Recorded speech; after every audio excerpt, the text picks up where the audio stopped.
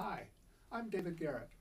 I'm a cellist with the Los Angeles Philharmonic and cello teacher at the Bob Cole Conservatory of Music at California State University, Long Beach. In this video, I'm going to discuss and demonstrate cello passages for upcoming auditions for the California All-State and All-Southern Honors Orchestras. There's five passages, two passages from the second movement of Beethoven's Fifth Symphony, a passage from the scherzo of Mendelssohn's Midsummer Night's Dream, and two passages from different movements of Brahms's Third Symphony. In addition to just our usual good cello playing as far as accuracy and beautiful tone, each one of these excerpts has special features that we need to give special attention to. And that's my purpose in this video is to sort of uh, highlight those important features for you. The first passage is from Beethoven's Fifth Symphony, the second movement. This is the opening theme.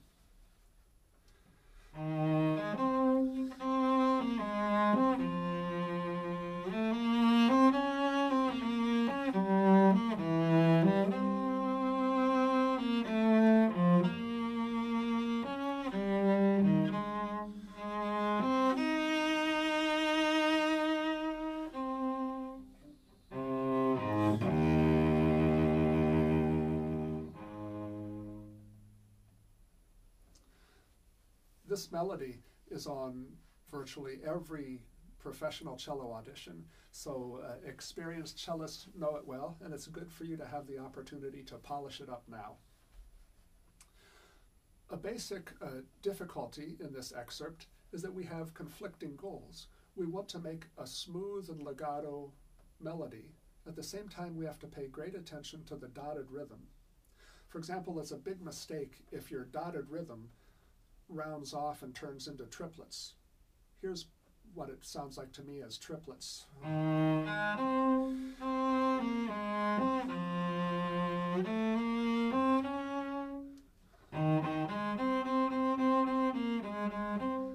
That's really uh, almost a cardinal sin in playing this excerpt. It's important to get good dotted rhythms.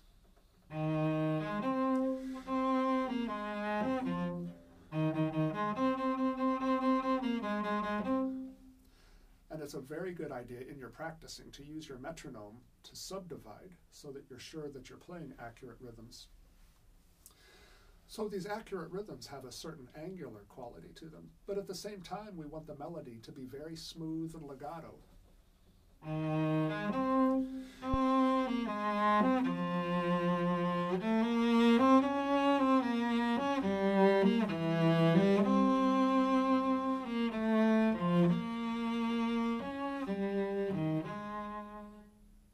Speaking of rhythms, notice that there's a difference in measure uh, four and measure five. At the end of measure four, it's a 32nd note. Then at the end of measure five, it's a 16th note. That's a detail that is important to represent accurately. This excerpt's a little difficult because it's in the flat keys, so we have to make a lot of shifts and string crossings. We can't just play in first position and go across strings. So there's another conflict. We have lots of shifts and extensions for this flat key, but we need to create the impression of just smooth and ease in this melody.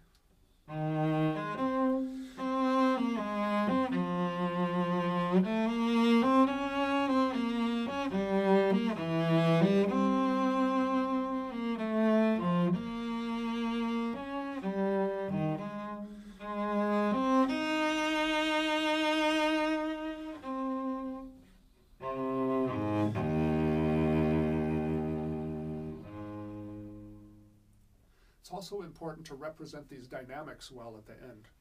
Notice that the forte on the high E flat is a subito forte. Be careful. Be careful not to crescendo to the forte. It's supposed to be a subito forte.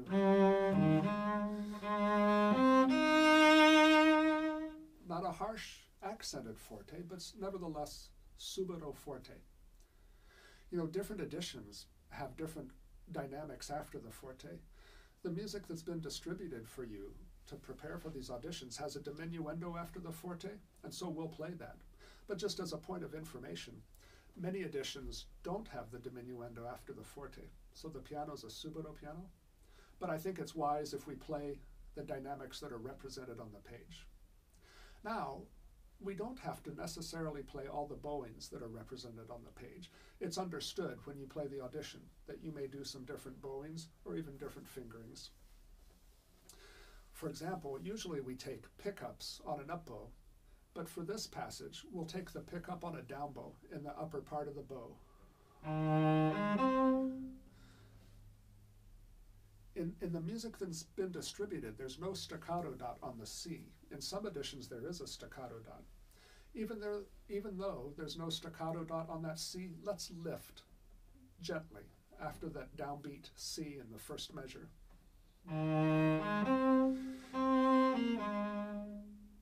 That's, that makes a nice phrasing. Uh, so, in this passage, we need accurate rhythms, smooth legato, and, and a bit of phrasing.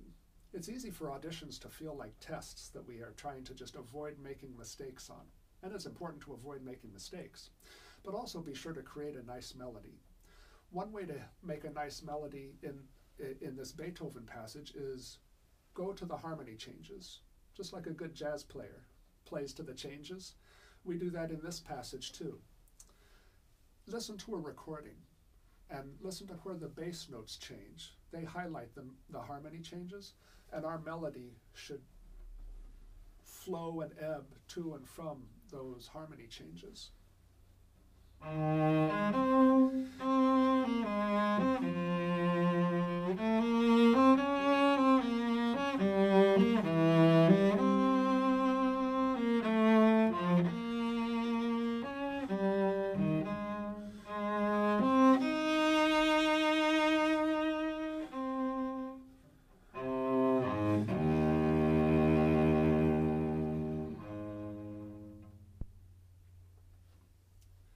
This excerpt from the Beethoven Fifth Symphony continues with the first variation of the slow movement.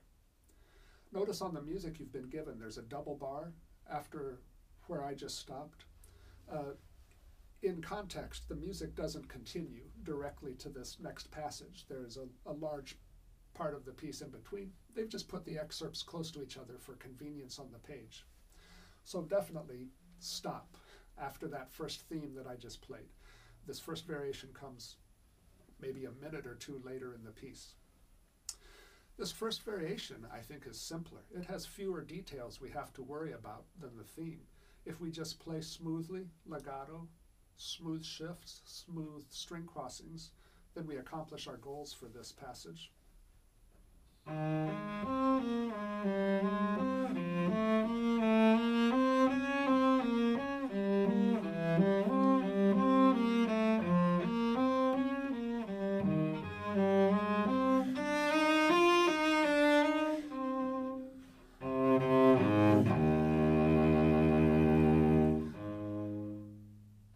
Again, let's observe the dynamics carefully as they're printed on the page. The forte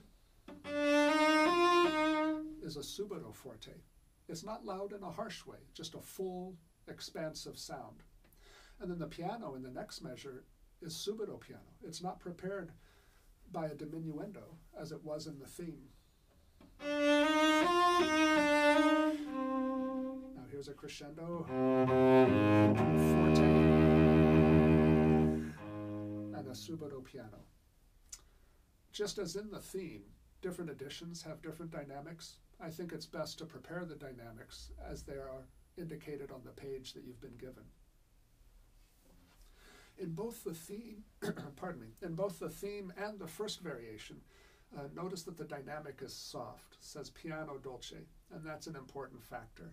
We want to create a confident sound that has the impression of being full but it's really not very loud.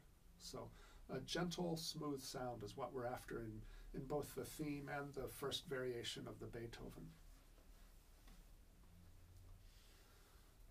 The next excerpt in the list is the scherzo from Mendelssohn's Midsummer Night's Dream.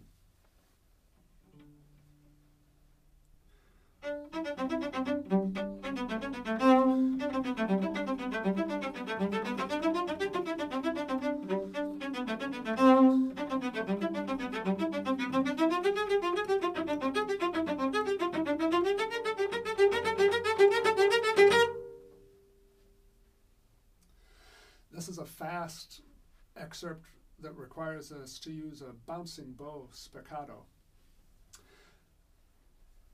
Be patient in developing your spiccato. If it doesn't come naturally, allow yourself the opportunity to work it out gradually through slower tempos. This is the kind of bouncing bow though where if we can, we want to get we want to get a relatively high bounce. You know, sometimes when we bounce the bow on the cello, we get this bouncing effect, but the hair never actually leaves the string.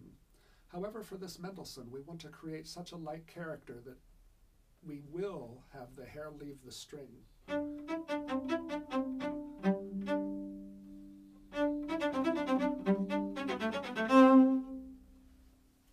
Now there's a few important little details for this one. In the first place, it's important to maintain a steady tempo. Be sure to practice with your metronome. You'll find that changing from 16th notes to 8th notes and then the quarter note will affect your tempo if you're not careful. Similarly, when we have dynamics, the hairpins that go up and down and then the crescendo at the very end, those can have an effect on our tempo. But we shouldn't allow that. We should maintain a perfectly steady tempo, a metronomic tempo, from beginning to end. Regarding our articulation, the 16th notes are naturally short because of how we bounce them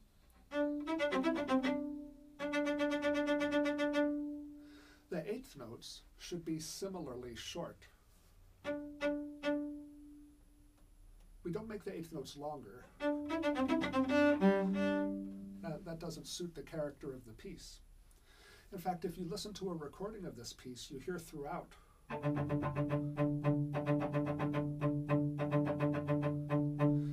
mixture of sixteenths and eighth notes, notice that the eighth notes are just as short as the sixteenth notes. And so we'll maintain that same shortness of eighth notes when we play our excerpt. Now this accent on the uh, quarter note is important. Try to try it, first of all, be sure that it's present. Do make a good accent. But it shouldn't be a heavy accent. It should be just a little stinger.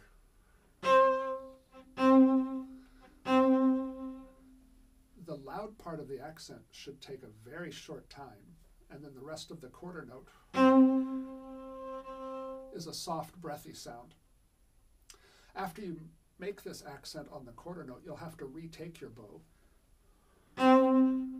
to get back to a good bouncing spot for the following notes.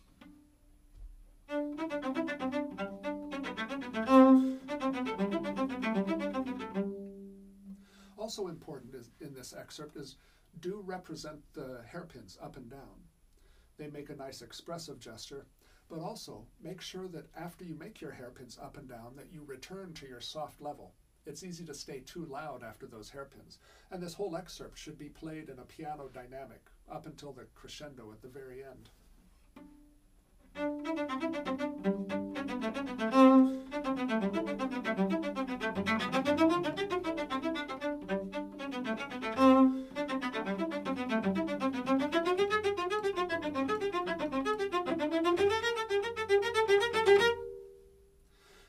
Passage carries on for just a few more measures, which they uh, clipped off, they truncated just to save space on the page, I believe.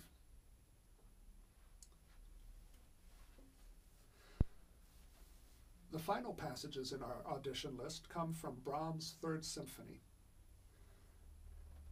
The first passage is from the slow movement, where the cellos have the melody at the beginning of the movement.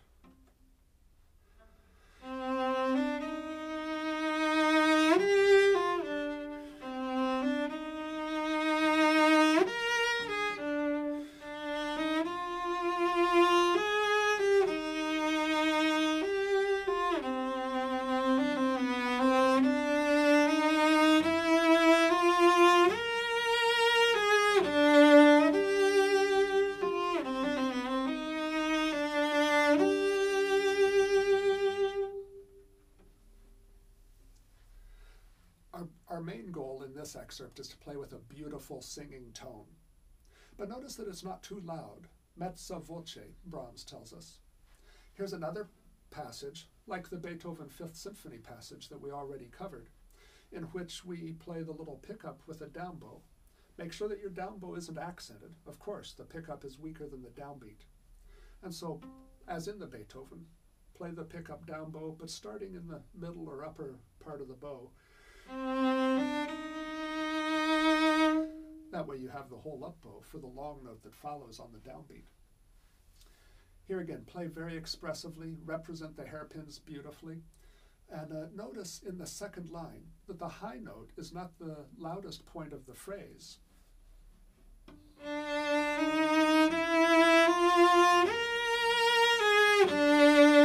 That the hairpin carries forward to the uh, D. That's the loud point of the phrase.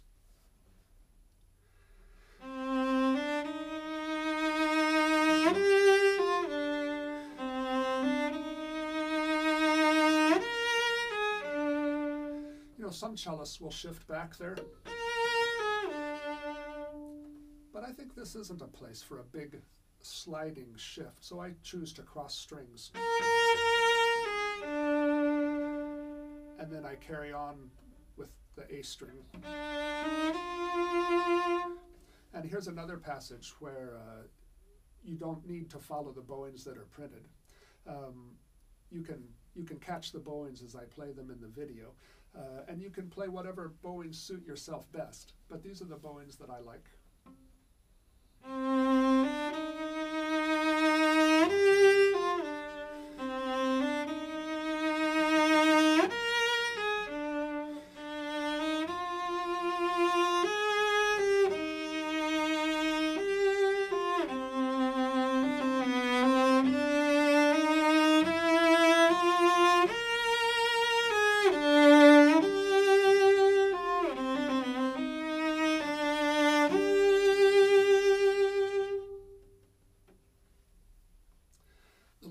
Passage in our excerpt list is from the finale, the beginning of the finale of this same Brahms Third Symphony.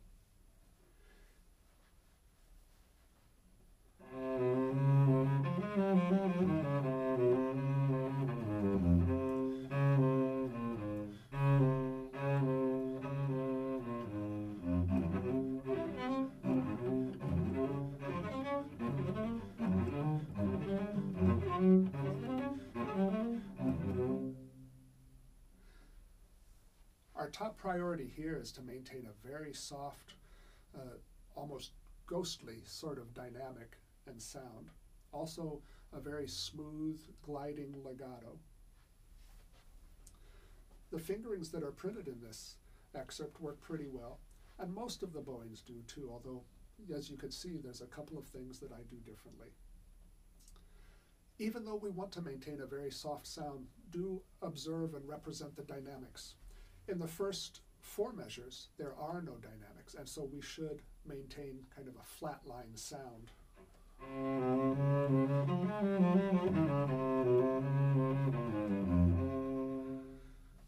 Try not to let string crossings or shifts put bumps in your legato.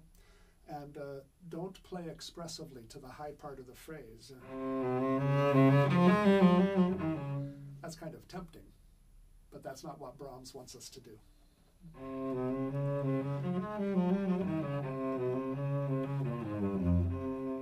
Now we have little inflections marked in our music. We have accents on the weak note. The eighth note is the pickup.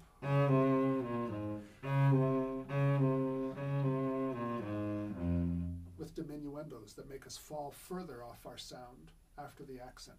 So represent those well. The accents shouldn't be loud, but they should be present they're accents within piano.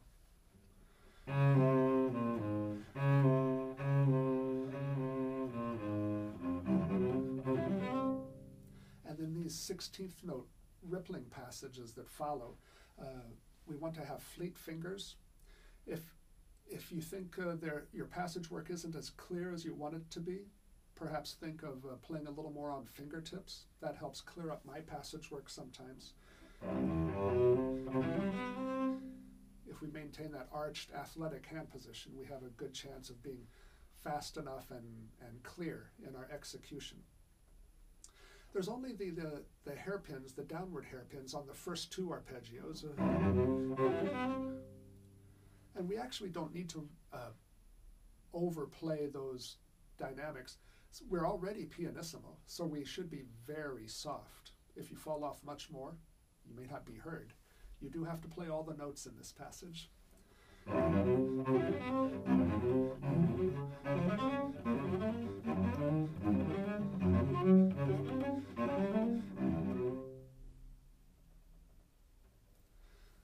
Those are the five excerpts in California's all state cello auditions and all southern cello auditions for this 2012 2013 year.